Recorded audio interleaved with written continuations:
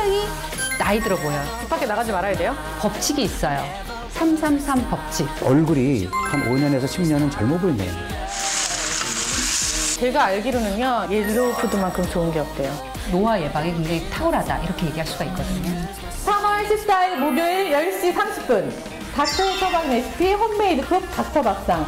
많이 기대해 주세요. 동안 되려면 꼭 보셔야 돼요. 이분들처럼.